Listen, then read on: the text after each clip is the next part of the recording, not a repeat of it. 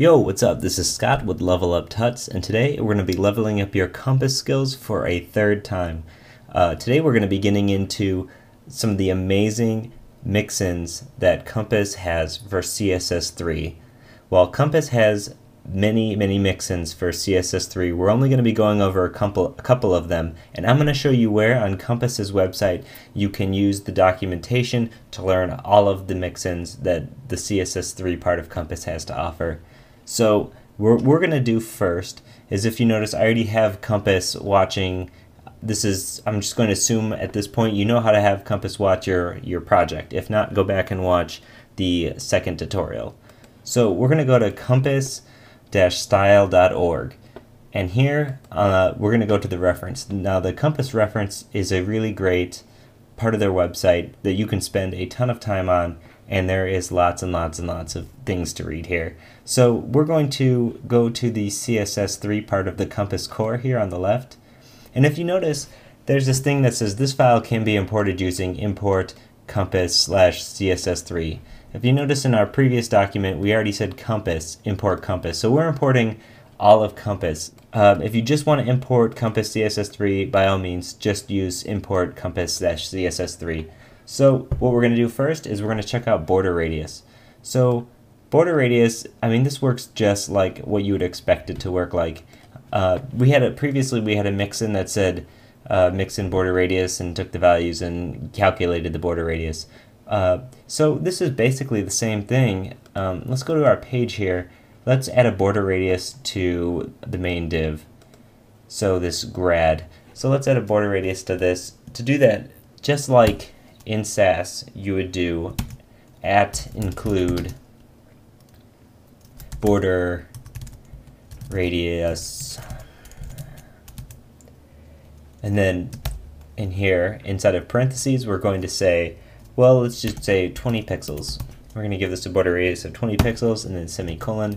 Save check our terminal. It's overwritten everything fine.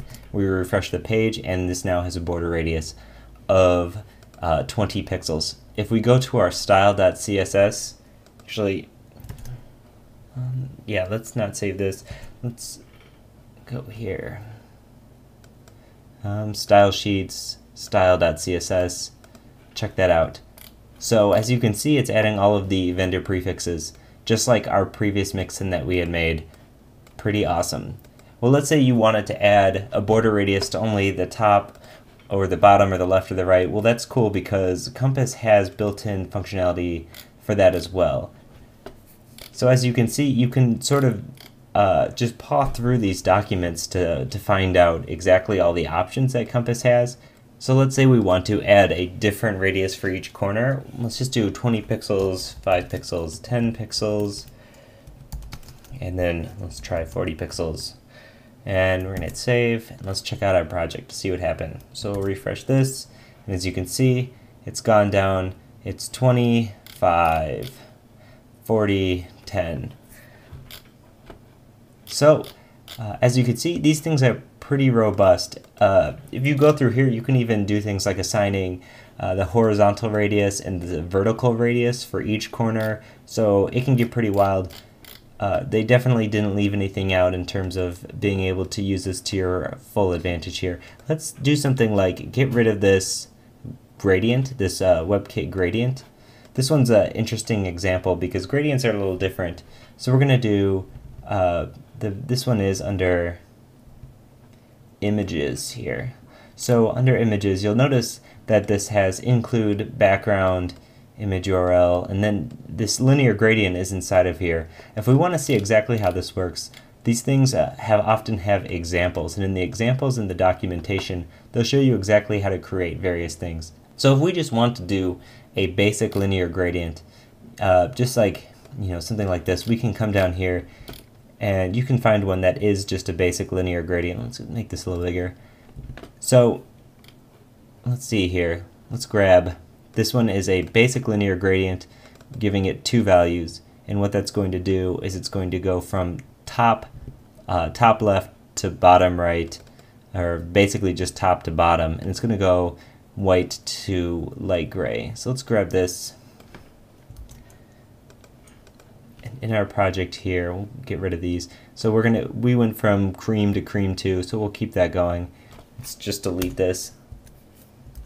And now we're gonna include a background image, parenthesis, linear gradient, parenthesis, and then we'll do cream, and then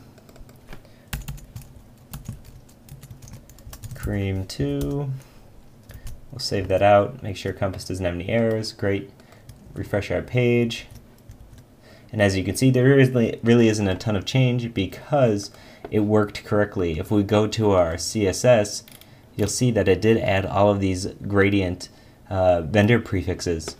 Uh, so before, even though we made our mixins before, they're sitting at the top here, now we don't even have to do that at all. Our CSS gets really clean, or should I say our Sass gets really clean. It gets a lot easier to navigate. Uh, basically, you just don't have all this clutter. And this is just the tip of the iceberg with Compass. If you go through these documentation uh, online here, you should be able to find a ton of great stuff in the CSS3. If you want to make sure you're using the right includes, the right mixins, uh, you know, I'm on here all the time just to, you know, see what, what other things we can do with this. So I would suggest just going through here and learning the mixins and then using them in your projects just like you would your normal CSS3 properties. Okay, well that's it for this lesson. If you have any questions or comments, as always, leave a comment on the video or hit us up at LevelUpTuts at Twitter. We should have a bunch more videos coming for you this week. Uh, once again, this is Scott, and thanks for watching. Bye.